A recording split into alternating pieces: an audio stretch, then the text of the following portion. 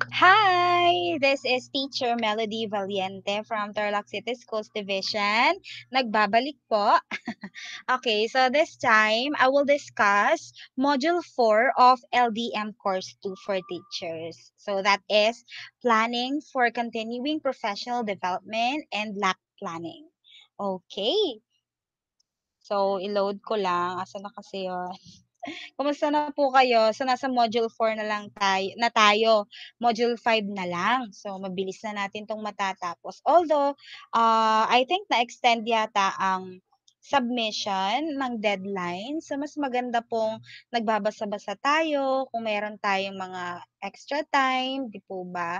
Okay, so this module 4, tulad nga sinabi ko, planning for continuing professional development and LAC planning. So, it requires us to finalize individual development plan and also templates for LAC, okay, o yung ating learning action cell. Ta-type ko nga kung ano. Yan, learning action cell. Yung iba ang tawag nila diyan SLAC, 'di ba? School Learning Action Cell. Okay, so these are the module objectives. Carry out your plan for continuing PD or professional development. Discuss the different PD initiatives or programs related to the LDMs that are available to you, either provided by DepEd or non-DepEd learning services providers. Third is to develop a PD plan, including the learning, learning action plan, and commit to your professional growth and development. So we have two lessons in Module 4. Lesson 1 is reflecting the professional life and development. Lesson 2, planning for continuing professional development o yung tinatawag nating CPD, di ba? CPD. And then, participation in the LAC session 4. Estimated time required 2 hours, pero tayo sana hindi umabot ng 2 hours. Okay, now let's go to lesson 1. Reflecting on professional life and development. So, sa activity 1, so yan po ah, habang pwede tayong mag-keep ng study notebook habang nagdi-discussion kayo sa LAC session nyo, para nagja-jot down na lang kayo kasi per activity, it will require you sometimes to answer some reflective questions, guide questions, sharing of thoughts, what are your insights about this topic. Activity 1, let's assess ourselves using professional self-assessment questionnaire. Okay, so nasa na kasi yung questionnaire na yan. Tignan nga natin. Oops, sorry. Professional assessment. Okay. So, ito, i-ano lang natin ng sarili natin, i-assess natin kung uh, you can use the modality with ease. Ano ba yung modality or LDM ninyo? Is it modular distance learning, online distance learning, blended distance learning, TV-based instruction, radio-based instruction? Okay. So, ma-assess ko sa sarili ko, blended kami. Modular and online. So, I think agree not strongly agree because maybe sometimes I would uh, face some challenges or issues about uh, blended learning because para sa akin ha, it is the hardest modality that you could use. Next is, I can confidently use the platforms in the modalities. Yan. Strongly agree ako dyan. Kasi I can manipulate uh, applications na or platforms na ginagamit, lalo ng Google Meet, ba? Um, kahit sa Facebook, sa Messenger, pwede rin kayo mag-open ng group dyan para sa video call with your students. And other platforms pa. I can use the pedagogies associated with the modalities and platforms. So, agree tayo dyan. I can very well manage my learners class in the modality that my school has adopted. How could you manage? Do you agree or disagree with that? Well, syempre, I can manage them kasi kilala ko na sila eh. 'Di ba? Puwera na lang kung meron tayong mga students talaga na iba yung kanilang character kapag sila ay nasa school at nasa bahay. Kasi at ah, kasi this time sa new normal nasa bahay sila. So, kung humiga ba sila tapos nagkaklase kayo sabihin mo, "Oh, wala ka sa bahay." "Ay, nasa bahay ka pala. Sige, okey lang." Gano'n po ba? so depende on how you will how you will manage your learners. Okay, I can very well engage with parents and community partners in assisting learners. Yes, strongly agree tayo dyan kasi every now and then kailangan meron tayong communication with parents, guardians, 'di ba? Pwede sa ibang stakeholders. Okay, so that is the self-assessment questionnaire. You can include this in your study notebook. Now let's go on to activity 2. Revisit the PPST found in LDM course overview. Okay, so course overview tayo. Ayan. So as you can see in here, medyo shortened ang PPST dito. Kasi yung mga domains and ano na lang, hindi na pinakita yung mga For example, yung specific content dito sa beginning, proficient, and highly proficient leaders or teachers dito. Okay. Pero kung gusto nyo pong tignan yung laman or i-review ulit ang PPSC standards, meron po yan sa DepEd Order 42, I think 2017. Eto po. National Adoption and Implementation of the Philippine Professional Standards for Teachers. Sige po, i-scan lang natin. Oh, let's say, for teachers po, kasi meron din po para sa school heads. Ito po ba yan? Yan. Domain 1, Content, Knowledge, and Pedagogy. So, the strands are here. For beginning teachers, yung mga nagsisimula pa lang sa DepEd, I think teachers na one year pa lang, Then proficient teachers, mga 2 years, 2 to 3 years. Highly proficient teachers, ito na po yung mga teacher 3, I think, or master teachers to distinguished teachers. So, ito po yung ating PPSC. Sa domain 1 pa lang po yan. So, we have 7 domains in here. Hanggang tayo ay mapunta sa domain 7, which is yun ang focus ng ating module 4 personal growth and professional development. Ito po ang focus ng ating Module 4. Okay. So, sabi dyan, um, may tanong tayo dito. What particular professional standards in the PPST do you need to focus on to effectively use the LDMs in relation to the content and pedagogy of the learning areas you're teaching? Write your answer and other insights in your study notebook. Okay, so maybe next videos, I will show you my study notebook from module 1 to 5 para makita ninyo yung mga aking reflections and also ano yung mga in-include ko doon. Yes, as part of my output din po. Okay, so to guide your answers, you can also re refer to DepEd Memo number 50, series of 2020 on DepEd Professional Development and Continuing Professional Development. Now, let's go first to DepEd Memo 50. Number 50, series of 2020. So, this is the DepEd Professional Development Priorities for Teachers and School Leaders. Diba? Marami po dito. Kasi pag sinabi nating ah, 'pag narinig niyo yung CPD, what comes first into your mind, 'di ba? Pag sinabing CPD, ay ito yung ano, 'pag nag-renew tayo sa PRC, 'di ba? Pero hindi lang po 'yun. So, nandito rin po pala yung copy ng PPST. Ayan po, yung mga strands and domains, pero mas, ah, parang na na-compressed sila with numbers or yung kanilang, um Okay po. So, activity 3.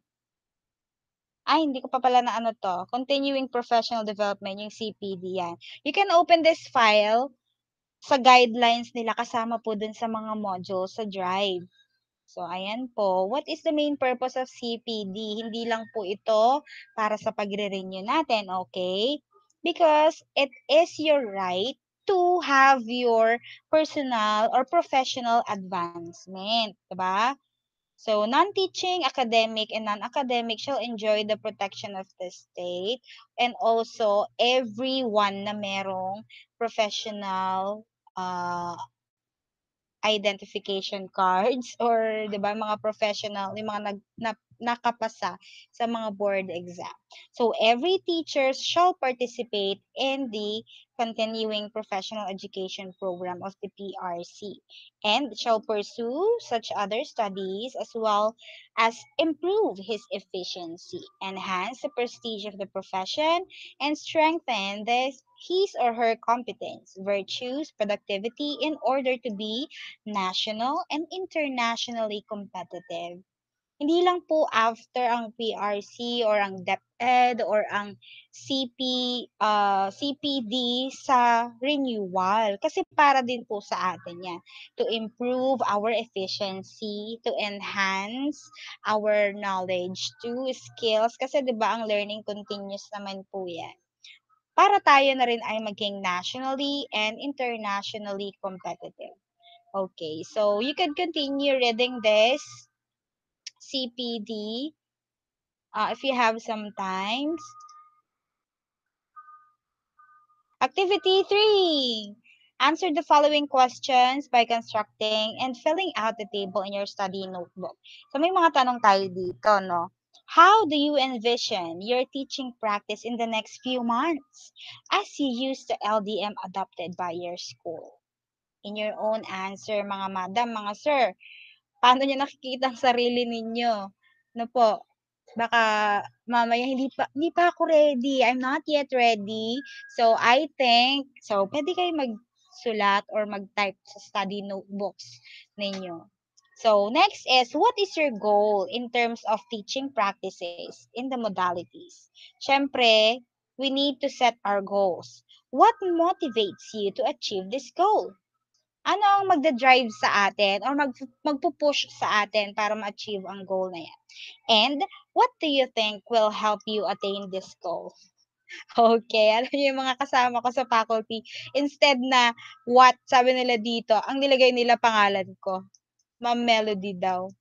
Ako daw makakatulong sa kanila to attain this goal. Well, literally, yes, natutulungan ko sila. Pero meron pa rin mga bagay na kung ano yung mga pwede nilang gawin para ma-achieve yung goal nila na yun. So, add as many rows as you need for your answers. Okay? So, hindi nyo na kailangan sagutin tong Ah, wait lang, medyo magulo na. Hindi niyo na kailangang sagutin 'to isa-isa, itong what is your goal, what motivates you, what do you think, kasi dito niyo po sila sasagutan, ano po.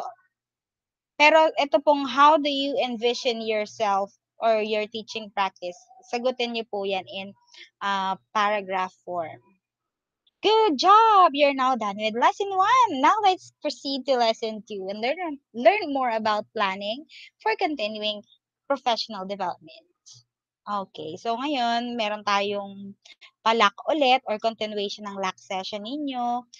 Lesson 2, planning for the continuing professional development and participation in the LAC. Kayo ba, kapag may LAC session kayo, active po ba kayo? I mean, nagkakaroon ba kayo ng, ah, talagang real conversation sa LAC niyo o ano lang siya, one way lang siya na si LAC leader or si LAC speaker, facilitator lang ang nagfi-feed sa inyo? Kailangan po sa learning action cell natin merong, ah, talagang hmm, interaction. Opo, kasi para sa para after nun meron kayong mga recommendations, suggestions na hindi lang applicable sa inyo. Lahat kayo matutulungan nung mga yun, 'di ba? So, mas maganda pong open tayo. Pero not to the point na ikaw na yung tatayo dun para maging speaker. Kasi ano pang silbi ng LAC leader, diniscuss mo na lahat. Ay, I think ganito, wag naman pong gano'n. Siyempre, we act professionally, ethically po, 'di ba? Okay, so in this session, we will identify the professional development programs available and reinforce positive feelings about teaching teaching as a career. Okay, activity of uh, accessing list NEA programs. I think hindi to included dun sa module sa Drive, pero meron tayo ditong individual development plan template. Okay. So I'll show you the individual development plan template. Where are you? Hindi ko yata siya na-include dito. Let's upload it first.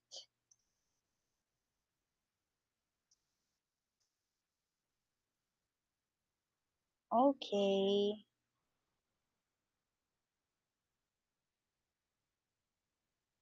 Oopsie. So, by the way, this individual development plan, hindi na bago sa inyo to. Bakit po? Kasi every end of the year or school year, di po ba, hinaharap natin to as part 4 ng ating RPMS o yung sa ating IPCRF. Di ba? Parts 1 to 4 yan. So, ito yung last phase na ginagawa natin. Nagkakaroon tayo ng development plan na pwede nating i-implement sa susunod na school year. Di po ba? So, ito siya. Yan. Pero ang napansin ko lang, nadagdagan tayo ng learning objectives of the professional development program. ba? Tignan niyo, ipakita ko sa inyo yung sa RPMS natin. So makikita niyo po 'yan dito sa ating um, manual, RPMS manual for teachers and school heads particularly in page, um, I think this is page 77, yan po yun. Di po ba? Part 4 po siya.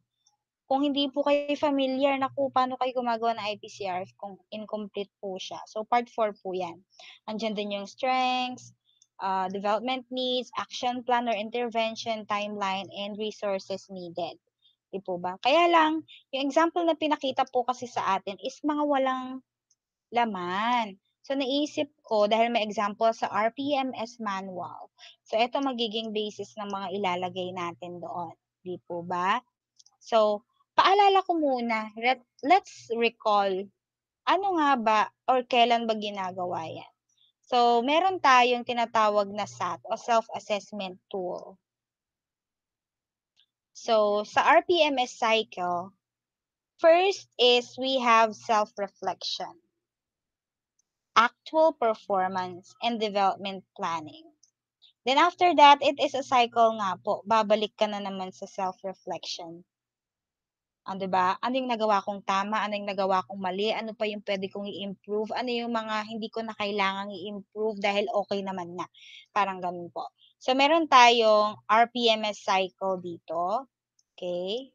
Lipat tayo, lipat. Baba ko lang po ito. At medyo lalakihan natin. Okay. So, phase 1 is performance planning and commitment. Ito po ay from May or last week of May before opening of classes. Ito yung first phase natin. 'Di ba? Hindi ko na masyadong tatagalan kasi sa RPMS na 'to. And then performance monitoring and coaching. Ito yung mid-year review. Di po ba? And then performance review and evaluation, year-end review ng ating RPMS or IPCRF. And then, sa part 4, dito na po yung rewarding and development. Sa tools natin, IPCRF and development plans ang kailangan natin. Nung nasa normal pa tayo, uh, during April or papunta ng May yung timeline na ginagawa natin ito. Kasi etong development plan na 'to, dito na naman natin isasakatuparan sa unang phase ulit sa performance planning and commitment, yung mga interventions na nilagay mo do'n. Ano ba yung pagkukulang ko? Ano ba yung kalakasan ko? Ano ba yung mga intervention na dapat gawin? Anong timeline ang target ko? At anong resources ang kailangan ko? 'Di ba? So, yun yung nasa template. So, kung makikita ninyo, what are my strengths? From SAT po yan. Development needs, ano yung mga mahihinang parts o sa tingin mo ay hindi mo masyadong na-perform? 'di ba? At anong intervention na kailangan mong gawin para diyan? Timeline and resources. Okay. Hmm, gusto ko sana ipakita yung sa akin. Let's upload it. Tignan po natin. Kaya lang po, um, hindi po ito perfect, kaya wag niyo po akong i-judge. Char!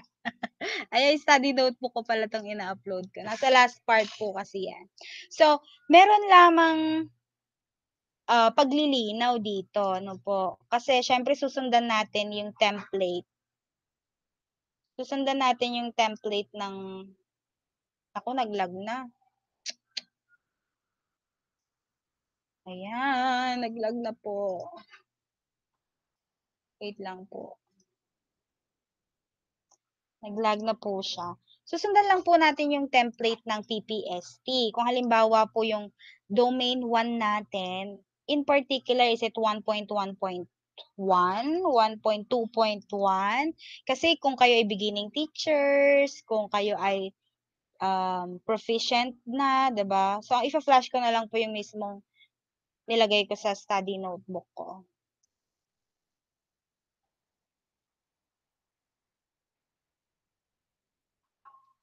Yes.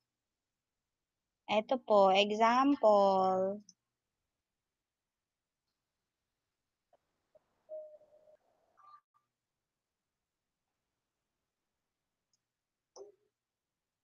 Ayan, nakikita niyo na ba? Dito sa aking module 4, lakihan ko na lang. Ayan. So, module 4, lesson 2, ito yung aking individual development plan. Strengths ko, syempre, based doon sa aking self-assessment tool. Ang strengths ko ay yung domain 1.4.2. Use a range of teaching strategies that enhance learners' achievement in literacy numeracy skills. Ano naman yung mga needs ko, developmental needs, na kailangan ko pang i-improve sa tingin ko or gusto ko pang i-improve? Um, yung priority kong i-improve, yung applied knowledge and content within and across curriculum teaching areas.